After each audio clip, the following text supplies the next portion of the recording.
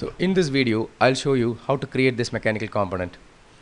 In order to create this mechanical component, we have to start with this profile and we can extrude it through this distance and you will get the major component.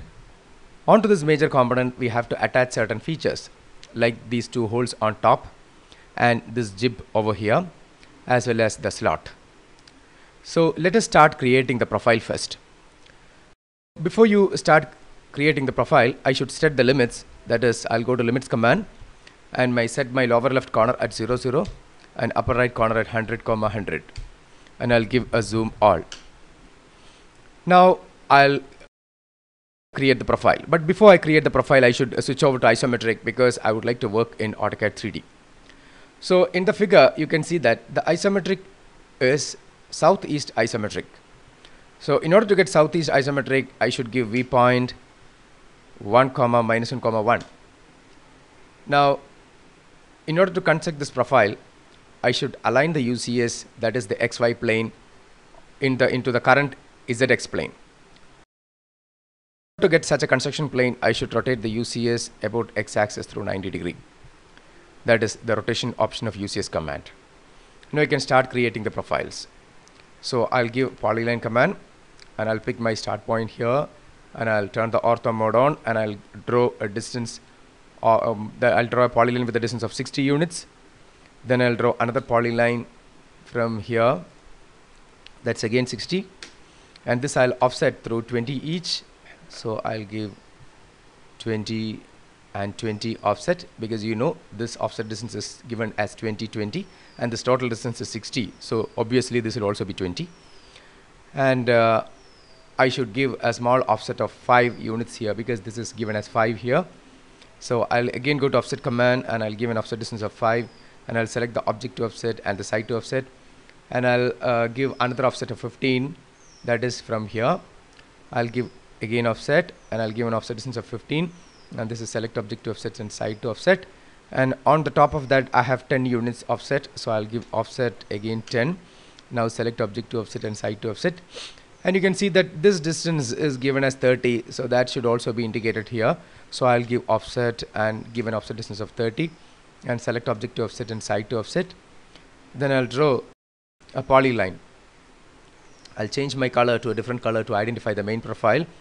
So I'll draw a polyline starting from here to the corresponding points which are obtained by the offset command. So now I'll pick all the necessary points on the screen and when you keep close you can see that you have completed the profile. Now I need only the profile on the screen and I want to get rid of all the other construction lines. So I'll give erase and I'll give all. Now I'm not going to erase all the objects so I should remove type R the most recently drawn profile. So type L since that being the most recently drawn one.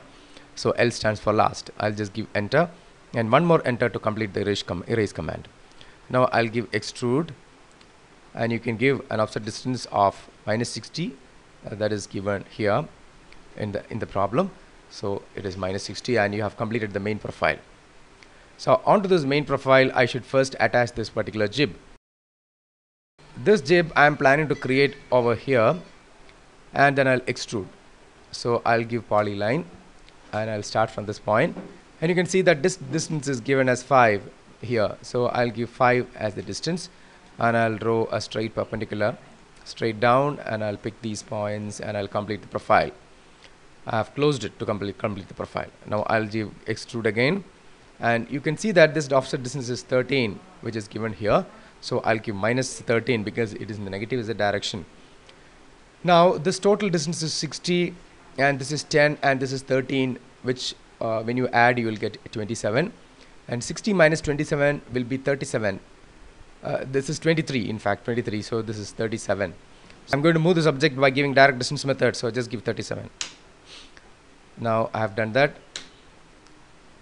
So this uh, jib is created. Now I should introduce a flatness over here. So in order to get this flatness I should give construct the profile and extrude. So I'll start a polyline from here and I'll draw a perpendicular to this point. And this point is presently hidden but you can get the same point by picking over here because you know that polyline is a two-dimensional object and it cannot change the plane. So even if you pick here you will get the corresponding projection of it over here which is the actual uh, point. And I'll pick one more point here then I'll give close to complete the profile. Now I give extrude and the height of extrusion is 10 so you have introduced this flatness over here. And these three objects are to be joined as a single object. So you can give union command mm, union command and you can select uh, all the three objects which are drawn which are created and you can see that the software combines those three objects as into a single object.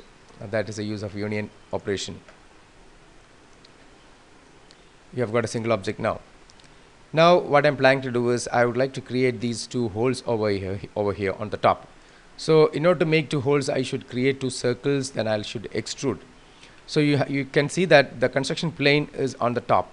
So you have you can use the UCS commands three point option. I'll go to three point option and I'll keep my origin here X here and Y here. And you draw a circle and the center point coordinate can be obtained from here. You know that this distance is uh, 30 this total distance is 30 and this axis uh, goes through the mid of this particular width. So it's actually uh, 15 when you keep the origin here uh, this point coordinate is uh, 15 and 15 that is clear from the geometry of the figure. Even this distance is given as 15 here. So I'll give 15 comma 15 as the center point coordinate and I'll give radius as 4 now give extrude minus 60 minus 60 I'll give a extrusion height of minus 60 I've got a cylinder. Now this cylinder is to be mirrored and this is the base point and this is a second point because I'm going to define a vertical axis so after you pick the base point you can turn the ortho mode on and simply pick a point over here. You can see that these two points will define a vertical axis. I called it vertical because it's parallel to the present y axis. And I'll just give enter to complete the mirroring operation. Now I'll go to subtract type simply SU to sub perform subtraction operation. And this is the uh, point this object from which I should subtract. So that has to be selected first. Then just give an enter. Then you select these two objects and you give one more enter and you can see that you have completed subtraction operation. And uh, finally this uh, slot is to be created. So in order to create the slot uh, I should give a slant distance here. The slant distance is even if it is given as 22 that has to be actually 18 because that is clear from the geometry because 22 comes up till here. So this is 18 uh, so I'll go to UCS and I'll go to three point option and keep my origin here and X here and Y here. And draw a polyline from this mid and you give a distance of 18 okay you have got the slant line here.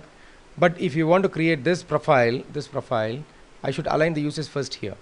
So UCS uh, you can do you can go to previous op command previous option and previously UCS was there and just give one more UCS previous. You can see that your UCS is aligned in the required plane. Or else you can use the three point option to align the UCS over here.